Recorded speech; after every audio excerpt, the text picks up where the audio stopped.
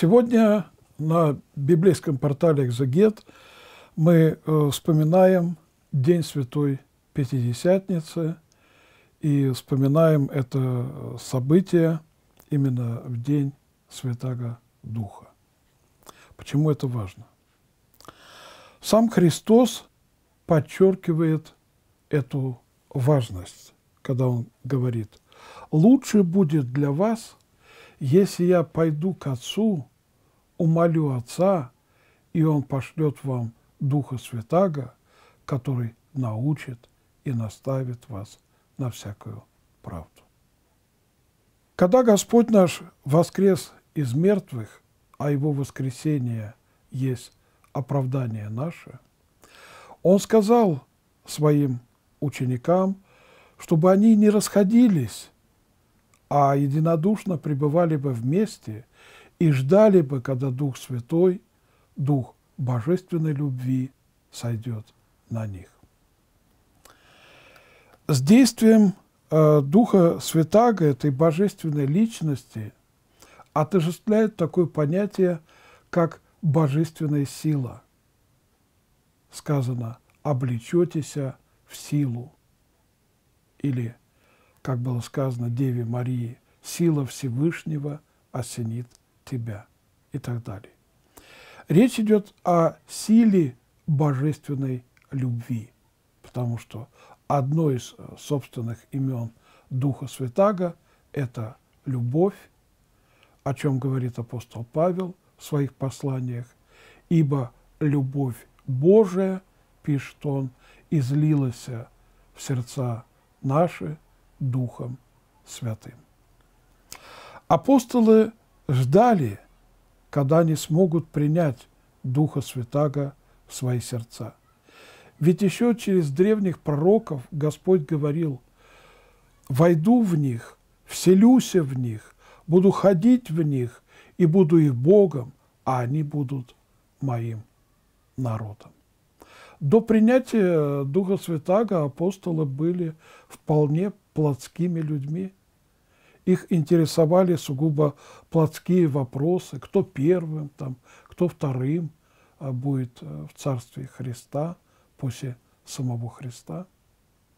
Мы видим, как они проявили трусость, когда Христа схватили, разбежались. Даже камень веры, Кифа, Петр – который говорил, все отрекутся, я не отрекусь, он трижды отрекся от своего божественного учителя. Но когда Дух Святой сошел на них, исполненные силой божественной любви, они выходят и открыто проповедуют Святое Евангелие, о чем и сам Христос говорил. То, что слышите на ухо, будете проповедовать на кровлях. Дела, которые я сотворил, говорил Христос, вы больше сотворите. На момент Вознесения Христа община верующих насчитывала где-то около 150 человек.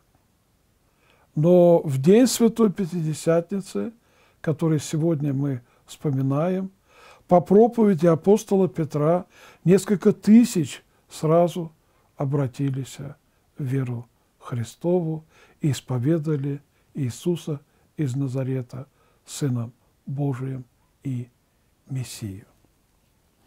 Как происходило это удивительное событие? Об этом мы читаем в книге «Деяний», 2 глава, с первого стиха и ниже. При наступлении Дня Пятидесятницы все они были единодушно вместе, и внезапно сделался шум с неба, как бы от несущегося сильного ветра, и наполнил весь дом, где они находились. Христос уже наглядно показал своим ученикам, что приятие Духа Святаго будет сопровождаться божественным дуновением, когда дверями затворенными по своему воскресении, придя к ним, он дунул и сказал, примите Духа Святаго. То есть он показал, как это произойдет. И внезапно сделался шум с неба, как бы от несущегося сильного ветра, и наполнил весь дом, где они находились, и явились им разделяющиеся языки, как бы огненные, и почили по одному на каждом из них.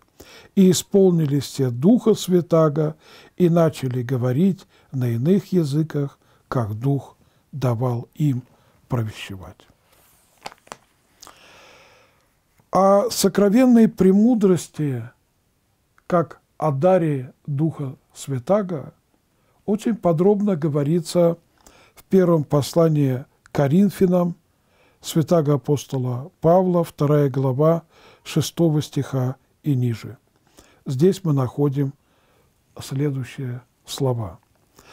«Мудрость же мы проповедуем между совершенными, но мудрость не века сего и не властей века сего приходящих, но проповедуем премудрость Божию, тайную, сокровенную, которую предназначил Бог прежде веков к славе нашей, который никто из властей века сего не познал, ибо если бы познали, то не распяли бы Господа славы, но, как написано, не видел того глаз, не слышало ухо, и не приходило то на сердце человеку, что приготовил Бог любящим его. Здесь речь идет не только о будущих благах, но и о принятии Духа Святаго. Ибо действием Духа Святаго мы, живущие на земле, становимся уже обитателями Небесного Царства Божия. И далее апостол Павел и пишет, «А нам Бог открыл это Духом Своим, ибо Дух все проницает и глубины Божие». Ибо кто из человеков знает, что в человеке, кроме духа человеческого, живущего в нем, так и Божьего никто не знает, кроме Духа Божия.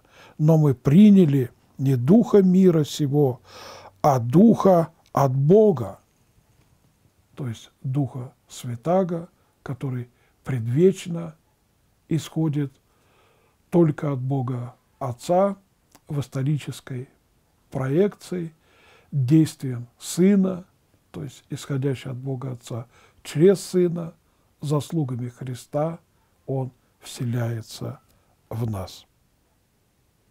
Но мы приняли не духа мира сего, а духа от Бога, дабы вы знали дарованное нам от Бога, что и возвещаем не от человеческой мудрости изреченными словами, но изученными от Духа Святаго, соображая духовное с душевным. Действительно, Дух Святой, который научает и наставляет нас на всякую правду, который напоминает нам все слова, которые сказал Христос, это есть божественный учитель, параклитос, утешитель, который приносит нам благодать и счастье жизни в Боге и с Богом. Иоанн Креститель прямо говорит об Иисусе Христе, Он будет крестить вас Духом Святым. То есть без Голговской смерти Христа, без Его воскресения, которое является нашим оправданием, без мольбы Сына, когда Он взошел к Отцу на небеса и умолил Отца, и тот послал Духа Святаго, мы никогда бы не сподобились бы принять Духа Святаго, Духа Божия, о котором сказано в Евангелии от Иоанна, «Дух дышит, где хочет, и голос его слышишь, а откуда приходит и куда уходит, не знаешь». Так бывает с каждым рожденным от Духа. Рождение от Духа – это рождение от благодати. Рождение от Духа – это начало новой жизни, ибо рожденный от плоти есть плоть, говорит Христос, а рожденный от Духа есть Дух. И в послании к римлянам апостол Павел даже настаивает на том, что мы не знаем, как молиться, но сам Дух Святой, это называется молитва Духом Святым, молится в нас воздыханиями неизреченными то есть проникая в глубины нашего сердца, Дух Святой дает нам те необходимые слова, с которыми мы можем обращаться к Богу. Все священное Писание написано Духом Святым. Пророки, апостолы, они были только орудием Божьей благодати, как и сказано, никогда пророчества не изрекались по воле человеческой, но изрекали их мужи Божии, будучи движимые Духом Святым. Духом Святым совершаются все таинства Церкви. И когда преподобный Серафим Саровский говорит, что смысл жизни христианина – стяжание благодати Духа Святаго, он имеет в виду то, чтобы мы рачительно относились бы к той благодати, которую получаем через таинство Церкви в самой Церкви, действием Духа Святаго. Дух Святой сошел на апостолов, Он сделал их другими людьми.